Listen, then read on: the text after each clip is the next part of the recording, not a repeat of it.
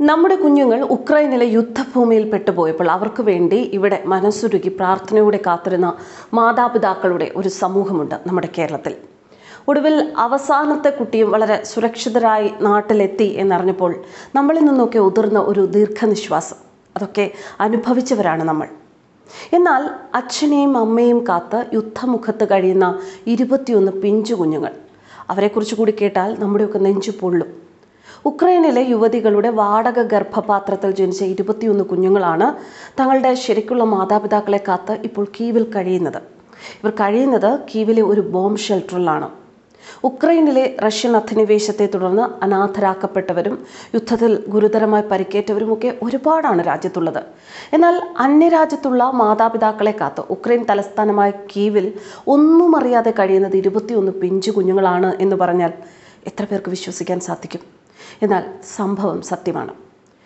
വൈദ്യശാസ്ത്രപരമായ ഒരുപാട് പ്രശ്നങ്ങൾ മൂലം കുഞ്ഞുങ്ങൾക്ക് ജന്മം നൽകാൻ സാധിക്കാത്ത ഒരുപാട് പേരാണ് ഉക്രൈനിലെ സ്ത്രീകളുടെ വാടക ഗർഭപാത്രത്തിന്റെ സംരക്ഷണയിൽ തങ്ങളുടെ കുഞ്ഞുങ്ങളെ ഭ്രൂണരൂപത്തിൽ നിക്ഷേപിച്ച് അവരുടെ ജനനത്തിനായി കാത്തിരുന്നത്. വാടക ഗർഭപാത്രത്തിൽ വളർന്ന് ഉക്രൈനിൽ ജനിച്ച കുട്ടികൾ പലരും ഇപ്പോൾ ബങ്കറുകളിലാണ് ഉള്ളത്. ആശുപത്രികളിലെ നഴ്സുമാരുടെ സഹായത്തോടെ കുട്ടികളുടെ പരിചരണം നടക്കുന്നുണ്ട്.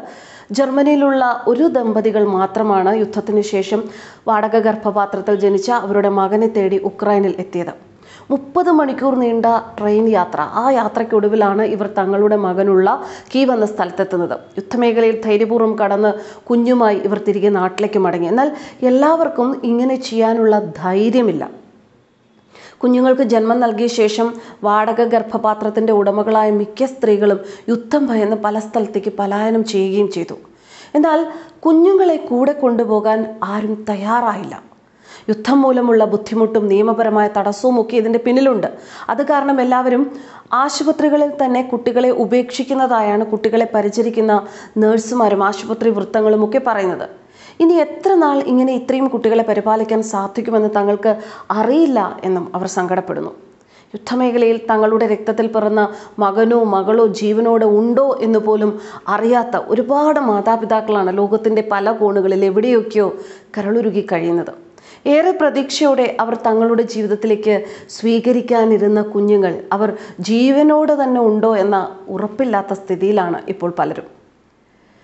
നമുക്കൊരു ചിത്രം പരിചയമുണ്ട്. മോഹൻലാലും രേഖയും മുരളിയും നെടുമുടി വേണുവും ഒക്കെ അഭിനയിച്ച ദശരഥം എന്ന സിനിമ. ഇത് കാണാത്ത മലയാളികൾ ഒരുപക്ഷെ ഉണ്ടാവില്ല. ചിലപ്പോൾ വിരളമായിരിക്കും. ആനി മോനെ സ്നേഹിക്കുന്നത് പോലെ മാഗിക്ക് എന്നെ സ്നേഹിക്കാൻ കഴിയുമോ എന്ന മോഹൻലാലിന്റെ ഡയലോഗ് മോഹൻലാൽ ആരാധകർക്ക് മറക്കാനാകാത്ത ഒരു സീനാണ്.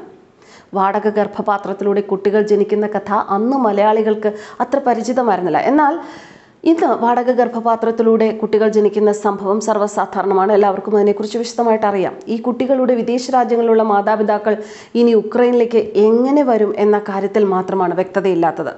അപ്രതീക്ഷിതമായി വന്ന യുദ്ധം എല്ലാം തകിടം മറിച്ചിരിക്കുകയാണ്. News desk കർമാനസ്.